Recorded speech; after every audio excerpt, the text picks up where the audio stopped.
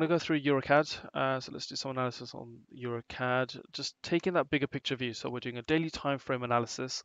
Uh, but what I like to do is actually zoom out. I'll zoom out and see as much price action as I can, just to see uh, the overall trend direction. So the bigger picture view, as well as are there any key levels. Uh, so this is where I'd maybe apply uh, a key level, uh, for example, sort of this 160 handle uh, seems to be respected a number of times. Has previously been respected. Uh, that's back way in 2010, and recently uh, been respected. If I just move this down in 2016, and now we're seeing 2018 uh, again respected. We did have a slight false break above, uh, but back below uh, that level now. So now if I just zoom back in do I have a trend line in place also? Could I apply a trend line in place? So looking at the lowest low from this point, so I'll be looking at this point, this region here, uh, and I may apply a trend line also. So uh, even though we've we've hit a strong resistance level, uh, but we also may be able to apply a trend line such as this. Yep. So I would uh, definitely fit my trend line to incorporate uh, all of price action. Uh, sometimes, most of the time, my trend lines are placed to, to, the extremes. That's including the highs and the lows, so the wicks, not just the close of the candle. But in some cases, if I have uh, a three touch and I can see this as a potential false breakout, I'm more than happy to do that as well. Um, so, okay, so we have a, an uptrend line taking place. We do have sort of a high, um, that's your higher low and then new high then that's your higher low and now we have an equal high taking place at this point over here. So a lot of hesitation around the 160 handle. Um, okay. So zooming in. Now I'm going to analyze from where I see the most recent uh, trend beginning or the previous trend start uh, finishing. Uh, and that's where I start to look at the market condition, the health of the market. Um, so now we're sort of analyzing from um, 2nd of um, March, maybe sort of March period. Um, yep, so 2nd of March, sort of this downtrend is what I'm interested in. Um, so looking at price action is what I'm going to do at this point here. Okay, so if I just bring this down a little bit. Okay, so uh, let me just use a tool here. So, okay, so all the way through, we've seen a series of higher highs and higher lows, uh, reaching up to sort of the 120, uh, 160 handle. Uh, so there's a high, a false break up, and then a break lower. So I'll start from sort of, got that high, you got this low. This goes on to make almost an equal high, to be fair, just a slight false break above, so almost a double top formation maybe. Uh, but uh, this low, the most recent low, just stops at this point over here. So still, even though we have an equal high, we still have a higher low. But then we go on to actually form a uh, lower high. So that's your uh, lower high. And then we have the break through this previous low. And this previous low is quite important. That's the level we've seen um, uh, the breakthrough.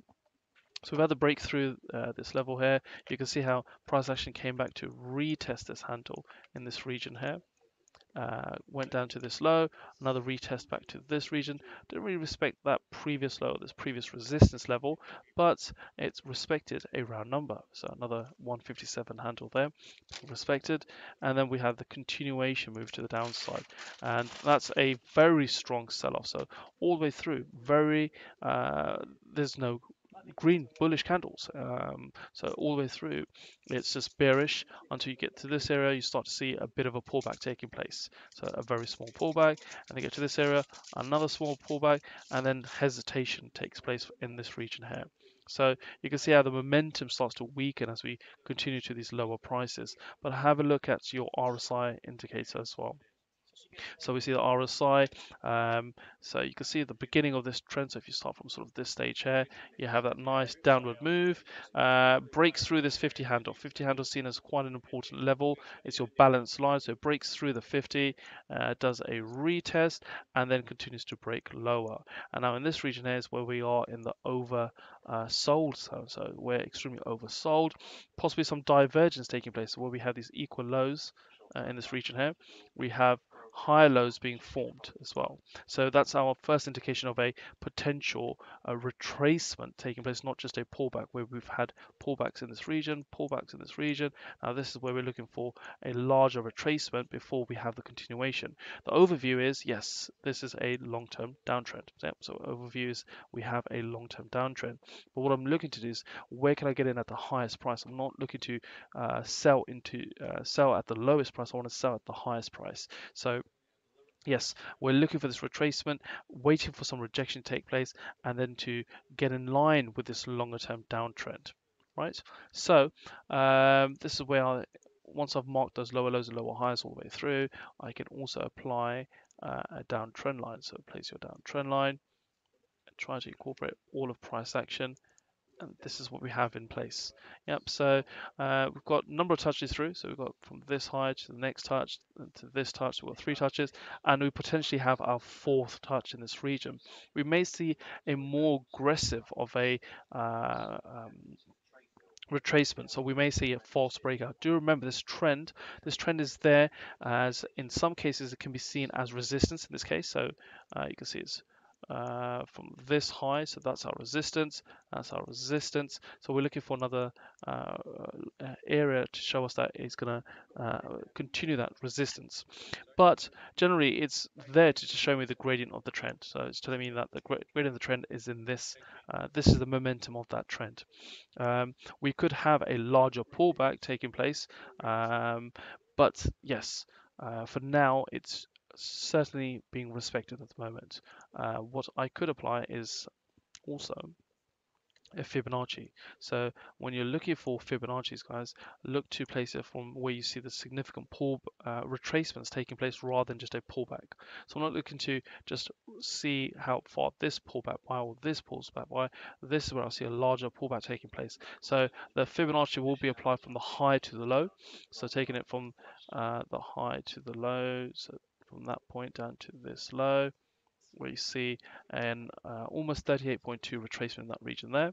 Uh, and then I'll take it from the next high down to the most recent low and yes we we are also testing this 38.2 percent 2% retracement. So if we start to see more rejection and a break lower, this could be a very great, uh, a good signal of a, a, continuation move to the downside. But if we do see a larger move, so if we see not just a, uh, so this retracement is just a retracement of this move. Yep. But overall, it's done a larger move, which is this. Therefore, the retracement can be of this entire move where we could see a larger move taking place. So therefore, if I'm looking for a larger move to take place and it breaks through this trend line, I will take the Fibonacci from the highest high to the lowest low to show me how far uh, could that pullback take place. Uh, so then I would apply a Fibonacci from the highest high down to the lowest low and that gives me my Oh, just trying to get that precise. Right, so that gives me this zone here. So if I now just use um, this here. So now this is my sell zone. So this is my sell zone. I'm not looking for price to uh, realistically. Uh, I'm still looking for a short up to this point over here. So this 61.8 uh, percent of this move is up to this region here. So if we do go into break through these levels here, that's where I could say, okay, yeah, we're more than likely to continue a longer term uptrend. Um, uh, um, possibly retest back to the 160 or even back to these previous highs and even further potentially. Uh, but this will be for now my sell zone. Uh, but on the shorter term, I would apply that secondary uh, secondary Fibonacci or this uh, most recent move, which is that move there. And now, so let's just adjust that. Right, so ideally what I'm looking for is rejection at this level for that continuation of this move that's taken place so far. But if we start to see that there's um, a, uh, a, break of this trend line, then we can look for a larger retracement back to this sell zone and look for a selling opportunity there. But in addition to that, you could also take the trade, the break of this trend line, break the trend line, up to one of these key levels. Yep. So you could take the trade back up to the 50%. 50%. Generally, I'll be looking for back up to the 61.8 where we have this previous high as well. So we have this as your resistance line, and also the 157 handle. So you've got three reasons of the confirmation. So that's the way trading goes. So uh, the benefit of technical analysis is that you can identify multiple trading uh, opportunities uh, uh on the same asset to go long and to go short.